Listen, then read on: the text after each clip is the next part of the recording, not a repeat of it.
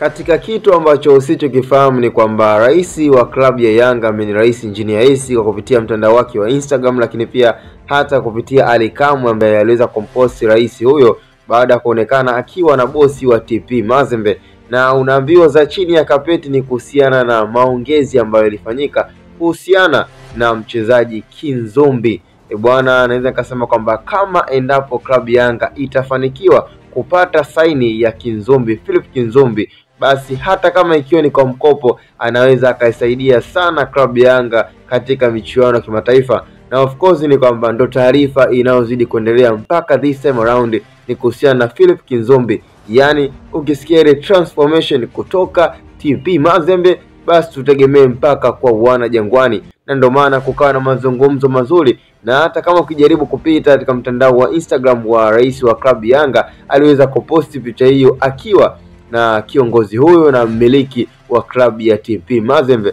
Kwa hiyo ni nafasi pekee sana kwa uongozi wa klabu Yanga, lakini ukizidi kusapotiwa na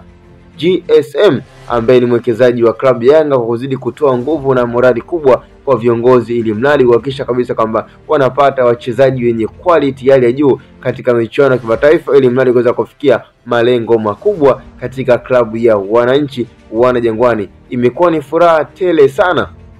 kumpata mchezaji kama Philip Kinzombi, na kama anafanikisha saini kabisa kuweza kutua kwa dau la aina yoyote, basi itakopo ni historia nyingine tena kwa klabu Yanga yaani badala ya kuzidi kuporomoka bali itazidi kupanda na kuzidi kuwa na CV kubwa yenye quality ya wachezaji bora, lakini pia uh, kufikia yale malengo makubwa katika upande wa soka la Kiafrika. Hii ni Hatubwe Media, cha msingi tu tusahau kusubscribe, kulike na comment, na tukutane kwenye comment za hapa na pale na ushauri kuhusiana na mchezaji ambaye anasadikika kuja katika wananchi ambaye ni Philip Kinzumbi kutoka TP Mazembe.